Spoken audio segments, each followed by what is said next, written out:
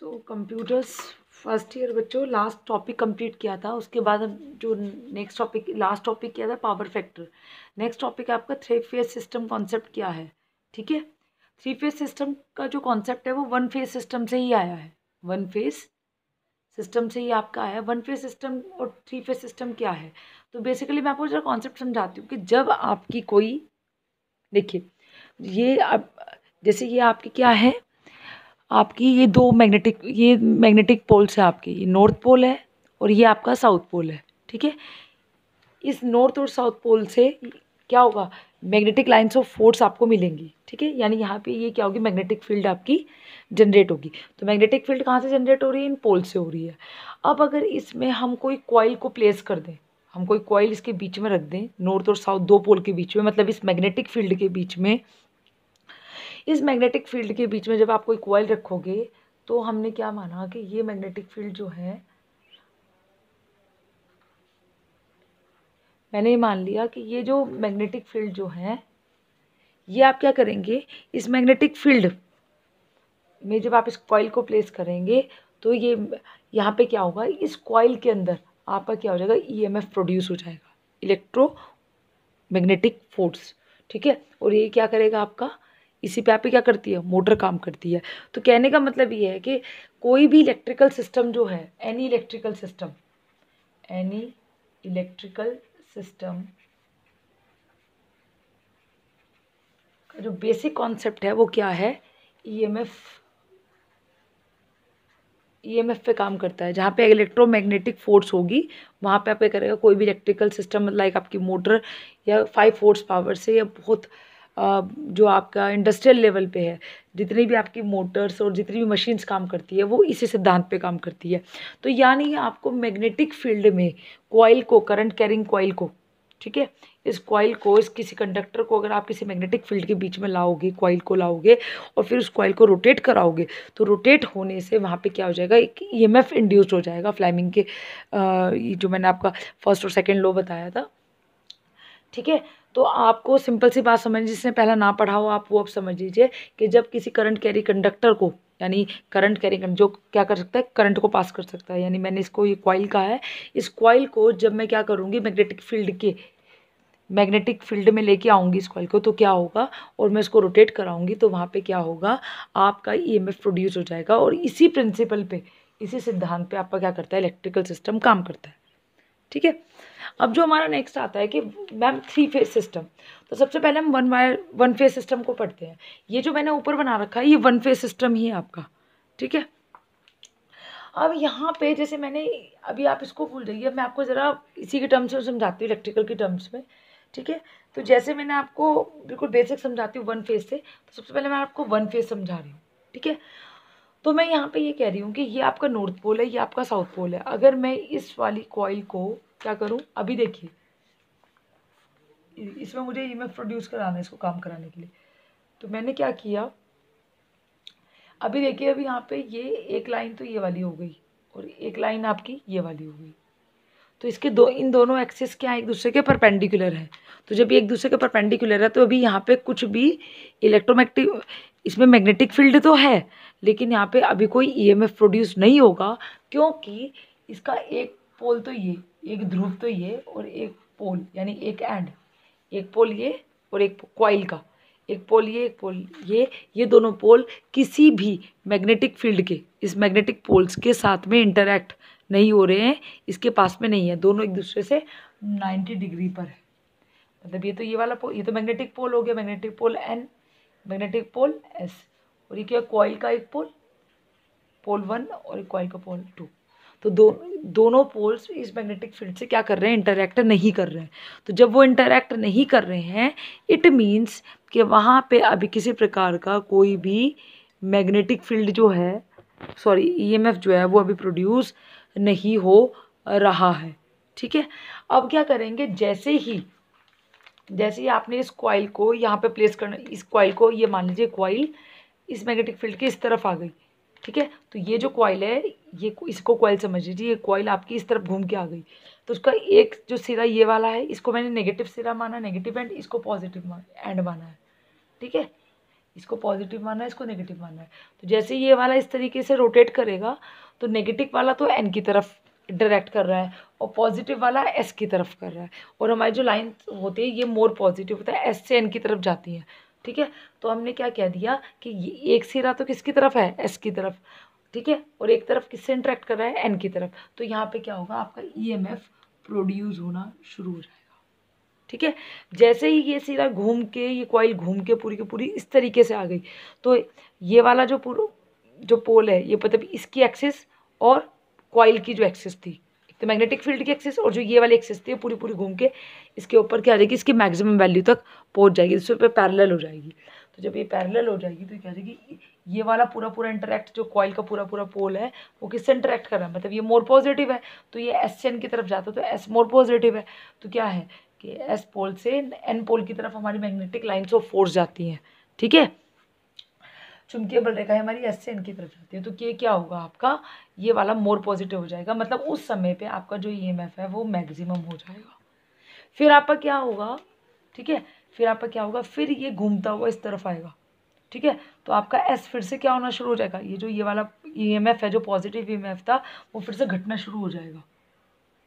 और जब वो घटना शुरू हो जाएगा तो ये एन से बढ़ने की तरफ़, ये घटता घटता फिर इधर आएगा। ठीक है? फिर ये घूमता हुआ नेगेटिव इधर आ जाएगा पॉजिटिव इधर आ जाएगा, और ये आपकी प्रक्रिया क्या होती रहेगी? चलती चली जाएगी। ठीक है? तो ये क्या है आपका? वन फ़ेज़ सिस्टम है। ठीक है? वन फ़ेज़ सिस्टम यहाँ पे आप क्या कर रहे हैं? ये जो ईएमएफ e है आपका, ये जो वन फ़ेज़ है वन वायर है तो मतलब यहाँ पे जो करंट आप फ्लो कराते हो करंट जो ट्रांसमिट कराते हो करंट को जो मतलब फ्लो कराते हो, वो केवल एक वायर में कराते हो। और ये हमारा जैसे मैं आपको ऐसे बताऊँ, ये वोल्टेज सोर्स और यहाँ से आप सप्लाई ले रहे हो घरों में, ये आपका घर हो गया। ये लोड हो गया, और ये आपके घर के पोल्स पोल्स ठीक है? तो ये आपका क्या होगा? ये आपके हाउसेस तो हाउस में अगर आपको हाउस घरों में जैसे आपको लाइट जलाने हैं फॉर एग्ज़ाम्पल ठीक है? लाइट जलानी है फैंस चलाने हैं एसी चलाना है तो वो क्या करेगा?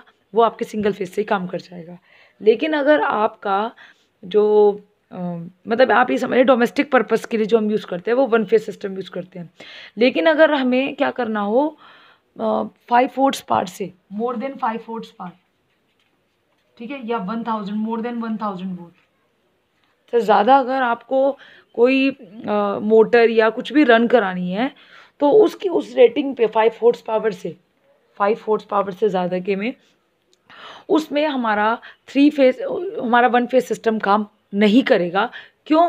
क्योंकि वो क्या करेगा? मोर करंट को क्या करने का कोशिश करेगा? कैरी करने की कोशिश करेगा, ज़्यादा करंट और उसकी, उस कंडीशन में क्या होगा कि आपको ज़्यादा करंट को प्रोड्यूस करने के लिए आप क्या करोगे? तो इसके अंदर जो थ्री फ़ेज़ सिस्टम में है, ये तो हमारा, मैंने आपको बताया रेटिंग फाइव वोट्स पावर से वन थाउज़ेंड वोट रेटिंग अगर आपकी इससे ज़्यादा है तो उस केस में हमारा वन फ़ेज़ सिस्टम हमारा काम नहीं कर पाएगा, क्योंकि हमारे जो मोटर्स हैं, उसकी हॉर्स पावर जो वोल्टेज है वोट्स हैं, वो रेटिंग जो है, वो बहुत ज़्यादा हाई है। अगर आप वन फ़ेज़ सिस्टम से ही ईएमएफ इंड्यूस कराते हो तो वो इनिशियली बहुत ज़्यादा करंट को क्या करेगा? ज़्यादा करंट हमें एक सिंगल कॉइल से ही सिंगल कॉइल से हमें क्या करना पड़ेगा? मैक्सिमम करंट को वहाँ से क्या करना पड़ेगा? मोटर को सप्लाई करनी पड़ेगी। और अगर ऐसा होगा तो आपकी क्या होगी? कॉइल की जो लॉसेस हैं, वो बढ़ जाएँगे एफिशिएंसी बेटर नहीं आएगी, ठीक है? और वो बहुत देर तक उस एफिशिएंसी से काम नहीं कर पाएगी, जिससे हमें काम करवाना है। और उसमें हमारे लॉसेस बहुत ज़्यादा बढ़ जा रहे हैं, जो हमारा प्राइमरी पार्ट होता है इलेक्ट्रिकल में, कि हमें लॉसेस कम से कम रखने हैं। तो वही काम हम थ्री फ़ेज़ सिस्टम से कराएँगे। इस थ्री फ़ेज़ सिस्टम से आप क्या करोगे? वहाँ पे आप, जैसे आपने ये नॉर्थ पोल था, ठीक है? This is your north pole एक मिनट रुकेगा जैसे आपका ये नॉर्थ पोल हो गया। ये साउथ पोल ठीक है? ये इसमें क्वाइल है, ठीक है? इसी तरह एक और लिया, एक और मैग्नेटिक पोल्स लिए हमने, मैग्नेटिक फ़ील्ड सेटअप की दूसरी, फिर ये तीसरी। इस तरह अगर हमें और मल्टीपल पोल्स में पोलीफेस लेना हो तो आप बहुत सारी कर सकते हो, ठीक है? तो ये बेसिकली क्या है कि आप इस, यानी आप जो थ्री जो आप वन फेस में काम कर रहे थे एट अ टाइम आप क्या कर रहे हो? तीन किसको? तीन कॉइल से आप वो काम कर रहे हैं। मतलब आप तीन कॉइल से मतलब थ्री टाइम्स आप ई एफ़ जनरेट कर रहे हो। ठीक है? एट अ टाइम आप क्या कर रहे हो? इससे भी ई एफ़ जनरेट करा रहे हो जितना इससे करा रहे हो उतना, उससे उतना उससे। तो इसमें भी क्या होगा कि आपका मैग्नेटिक फ़ील्ड क्या हो जाएगी? आपकी प्रोड्यूस हो जाएगी और आप क्या करेंगे? आप ज़्यादा हॉर्स पावर वहाँ दे पाए यानी सिंगल कॉइल को ज़्यादा करंट ड्रॉ नहीं करनी पड़ेगी। बहुत ज़्यादा और वहाँ पे लॉसेस आप कम से कम आएँगे तो इसलिए एफिशिएंट है। तो इसको काम करने के लिए हम कैसे करते हैं, ये जो कॉन्सेप्ट है, यहाँ पे आप सब देख रहे हैं कि टू वाई एक ये वाला एंड हो गया, जैसे एक ये वाला एंड हो गया, एक ये वाला एंड हो गया तो टू वायर सिस्टम हो गया। तो अब आपके दिमाग में आएगा कि मैम इसमें हम सिक्स वायर यूज़ करेंगे नहीं, हम इसमें सिक्स वायर को यूज़ नहीं करेंगे। ये बेसिकली क्या होगा कि मैं कहूँगी, पहली वायर आपकी, पहली जो वायर है वो आपकी ये वाली है, ठीक है? और दूसरी वायर जो है वो आपकी ये वाली है। ये वाली वायर कह रही कॉइल सॉरी तो दो, पहली एक एंड ये हो गया आर इसको आर मान लीजिए आर आर वन ठीक है? फिर ये हो गया आर आर टू ठीक है? यहाँ देखिएगा आर आर वन ठीक है? ये हो गया आपका, फिर आपका ये वाई वाई वन आर का मतलब रेड है वाई का मतलब येलो है, ठीक है? और फिर आपका एक हो गया ब्लैक ठीक है? ये आपका हो गया दिस वन ठीक है? तो दो वायर इसकी हो गई। दो वायर्स तो आप किसकी होगी रेड वाले की। दो वाले आपकी येलो वाले की हो गई, दो आपकी ब्लैक वाले की हो गई। ठीक है? वाई वाई वन सॉरी उल्टा कर दिया मैंने B B one Y Y one R R one तो इसमें क्या होगा कि मतलब ये है तो आपका बेसिकली सिक्स वायर ठीक है? लेकिन ये सिक्स वायर ना होगा क्योंकि आपको यहाँ पे क्या कहना है? Four wire system four wire system तीन तो आप क्या करते हो? ये वाला ये वाला और ये वाला। ये तीन तो आ गए आपके कनेक्शंस के लिए। और जो ये फोर्थ वाला है, ये फोर्थ वाला जो सबका कॉमन है, ये कॉमन वाला जो है, ये आप यूज़ करेंगे एज अ न्यूट्रल ठीक है? ये न्यूट्रल ये बताइए तीनों के लिए कॉमन होगा। तो ये न्यूट्रल आपको अलग अलग नहीं लगाना पड़ेगा, जैसे आपने हर बार कर रहे थे ना प्लस माइनस इस तरह plus minus plus minus plus minus basically one phase one phase one phase और आपने तीनों तीनों के वन वन फेस को साइमल्टेनियसली जब कनेक्ट कर दिया, उनको एक उनकी एक एक चीज़ को कॉमन कर दिया तो वो क्या बन जाएगा आपका? थ्री थ्री फेस सिस्टम बन जाएगा। मतलब one phase one phase one phase तो यहाँ पे क्या गया आपके तीन कॉइल्स हैं तो ये क्या बन जाएगी आपकी? Three phase system getting my point और इसमें जो फोर्थ वाला है, वो आपका न्यूट्रल वाला पॉइंट है, जो क्या करेगा आपकी फोल्ट करंट को। ठीक है? फोल्ट करंट को या एरर करंट को क्या करेगा? कंटेन करेगा। मतलब जो आपकी एरर करंट होगी, जो आपकी फोल्टी करंट होगी, ठीक है? वो आप क्या करेगा? वो हम इस न्यूट्रल से करेंगे। और ये न्यूट्रल सबके लिए क्या होगा? आपका कॉमन होगा। न्यूट्रल वाला पॉइंट ठीक है? तो ये आपका फॉर अब जैसे मैं इसमें बताऊँ कि मैम, इसमें अब हमारा जो ये आपकी वर्किंग रहेगी, कैसी रहेगी, मैं आपको समझाती हूँ। जरा देखिए। जैसे पहले मैं कहूँ, ये वाला ये वाला सिस्टम ब्लू वाला। तो ब्लू वाले के लिए आपने माना ये वाला। ठीक है? फिर दूसरे वाले के लिए। जब आप दूसरे वाले के लिए चलेंगे तो दूसरे वाले के लिए रेड वाले ग्रीन वाले के लिए देख लीजिए येलो वाले के लिए। ये आपका कुछ ऐसा ठीक है? और जो फोर्थ वाले के लिए है सॉरी थर्ड वाले के लिए जो है, वो है आपका ये वाला। तो देखिए, तीनों में जो ईएमएफ e है, वो आपका अलग अलग पॉइंट्स पे आपका ईएमएफ e क्या हो रहा है? जनरेट होगा ये पिंक है, ये ग्रीन है, ये ग्रीन है, ये येलो है। तो जब इसका ईएमएफ e होगा तो उसका मिनिमम हो जाएगा, ठीक है? और जब इसका मैक्सिमम होगा तो इन दोनों का मिनिमम हो जाएगा, ठीक है? तो समझ आ रही मेरी बात?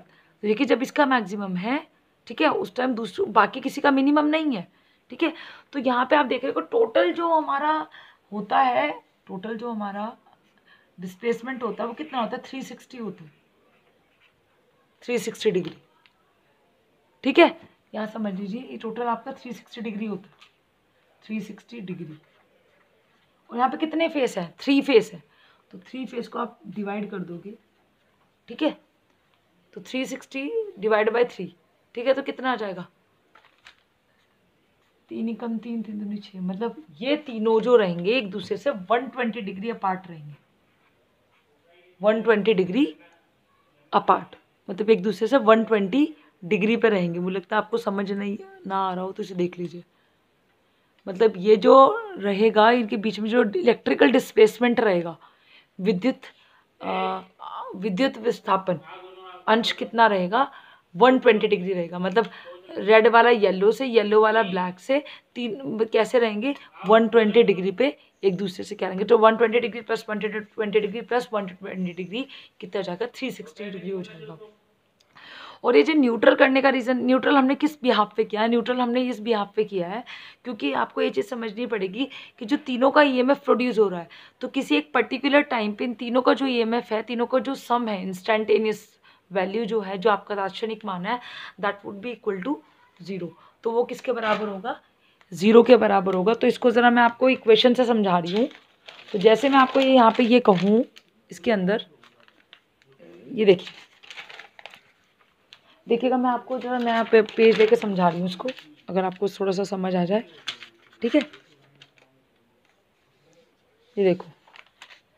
जैसे मैंने कहा कि इसमें आ, ये देखिएगा। ऊपर ही समझाती हूँ।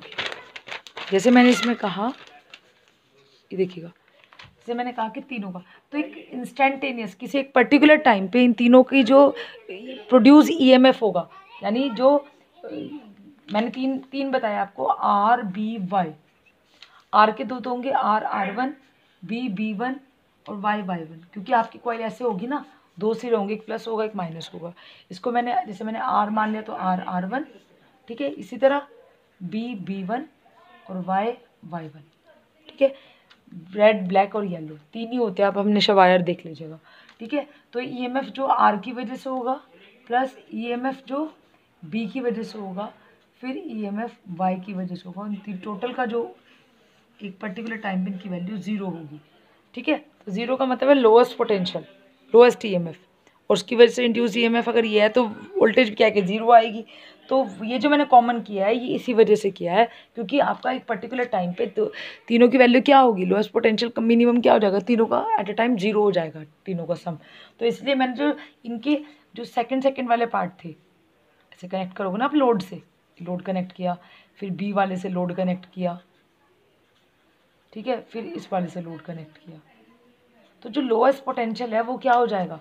सबका एट अ टाइम पे जो लोएस्ट वाला ईएमएफ है, वो हम कह रहे हैं उस टाइम पे इंड्यूस वोल्टेज जो होगी वो लोएस्ट होगी, वो सबके लिए कॉमन है। तो यानी एक एक एक जो पोल है, एक जो मतलब आपका टर्मिनल है, वो क्या होगा? लोएस्ट पे होगा तो उसी को हमने न्यूट्रल मान लिया। और वो तीनों के लिए क्या हो जाएगा? कॉमन है क्योंकि तीनों के मैक्सिमम वैल्यू सेम एक टाइम पे मैक्सिमम नहीं है। सेम टाइम पे मैक्सिमम नहीं है। लेकिन एक टाइम उस टाइम पे जब एक की वैल्यू मिनिमम है लोएस्ट है बिल्कुल मिनिमम है तो वो उस टाइम पर सबकी टोटल की वैल्यू वही आएगी। ठीक है? समझ आ रही मेरी बात? तो ये आपका क्या हो जाएगा? तो इस वजह से मैंने इसको न्यूट्रल कर दिया समझ आ रही मेरी बात? देखो बच्चों देखो बच्चों, इसको ना ज़रा आप समझ लो ढंग से। जैसे मैंने ये कहा कि आपको कि ये नॉर्थ पोल है, ये साउथ पोल है। पहला एक क्वाइल फिर दूसरी क्वाइल फिर तीसरी क्वाइल तो इसके दो दो सिरे, इसके दो सिरे और इसके दो सिरे। ठीक है? तो अब क्या हो जाएगा, ये टोटल आपके कितने हो गए? और एक टाइम पे क्या कर रहे हैं हमने कॉमन कर दिए हैं। ठीक है? तो जब आपका, अब हम इसको ज़रा, इसको आप ज़रा ये देखिए कि हम इसको ईएमएफ कैसे जनरेट हो रहे हैं, क्योंकि जब वो मैग्नेटिक फ़ील्ड में मूव करेगा तो बेसिकली उसके अंदर क्या होगा, आपका ईएमएफ प्रोड्यूस हो गया, ठीक है? इंड्यूस्ड ईएमएफ प्रोड्यूस होगा when your coil would be rotate in a magnetic field ठीक है? तो जैसे अब मैं इसके अंदर आपको समझा रही हूँ, देखिए, मैंने मान लिया कि आपकी तीन क्वाइल्स हैं, ठीक है? पहली क्वाइल क्या है, जिसको मैंने नाम क्या क्या दिया है? आर दिया है वाई दिया है और बी दिया है। कलर्स पर अगर थोड़ी दिक्कत होगी तो कोई बात नहीं, लेकिन आप आर वाई बी याद रखिएगा। आर का मतलब रेड वाई का मतलब येलो एंड बी का मतलब ब्लैक ठीक है? तो जैसे आपके आर के दो पार्ट्स हैं। आर आर वन ठीक है? रेड ठीक है? वाई के दो पार्ट्स हैं वाई वाई वन इस तरह ब्लैक के हैं। वाई वाई वन ठीक है? तो अब जैसे, अब मैं इसमें कैसे समझा रही हूँ, ये देखिएगा। अब हम क्या करें हम कॉइल को एक समान, हम कॉइल को एक समान क्लॉकवाइज डायरेक्शन उसमें एंटी क्लॉकवाइज डायरेक्शन में घुमा रहे हैं। ठीक है? किसमें? एंटी क्लॉकवाइज मतलब घड़ी की उल्टी दिशा में। मतलब इस तरीके से घुमा दें। इस तरीके से। ए ऐसे। घड़ी की उल्टी दिशा में। तो इसको हम बोलेंगे एंटी क्लॉकवाइज डायरेक्शन जब आप घुमा रहे हो तो क्या होगा? इस मैग्नेटिक फ़ील्ड में से नॉर्थ और साउथ पोल की वजह से वहाँ मैग्नेटिक फ़ील्ड है। और जैसे ही आप इसको घुमाना शुरू करोगे तो वहाँ पे क्या होगा? एक मैग्नेटिक फ़ील्ड में जैसे ही ये क्वाइलें क्या करेंगे? रोटेट करेंगी। उस क्वाइल में क्या हो जाएगा? इन क्वाइल्स में ईएमएफ प्रोड्यूस होना शुरू हो जाएगा। तो हमें वो ईएमएफ प्रोड्यूस करने का कॉन्सेप्ट समझना है कैसे? तो जैसे मैंने आपको ये बताया कि जब हम इसे एक एंटी क्लॉकवाइज डायरेक्शन में घुमाएँगे तो जैसे सबसे पहले मैं कह रही हूँ कि जो आपका आर आर वन है, ठीक है, ये आर आर वन ये वाला दिखाई दे रहा है बच्चों? चलिए मैं आपको ऐसे समझाती हूँ। एक मिनट रुकीगा बच्चों।